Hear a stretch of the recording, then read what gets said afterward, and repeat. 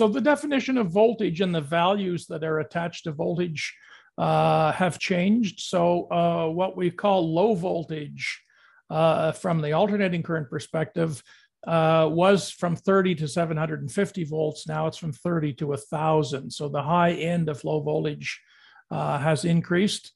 Uh, they've also added DC values for voltage throughout the code book because we are seeing more direct current uh, installations in the form of uh, energy storage in the form of batteries and things like that. So, so the DC values uh, got added in.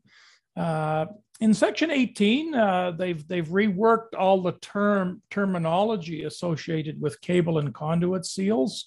So, so once again, there uh, a lot of times when we get changes in terminology uh, in our code book, they're, they're a result of changes in the product standard that these things were built to. So, so a lot of changes in the definitions of the terminology associated with seals.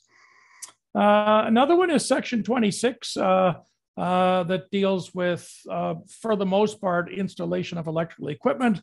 So car plug receptacles on, on parking lots for plugging in block heaters now require ground fault protection. They were one of the few things that was exempt on exterior receptacles previously. They are no longer exempt.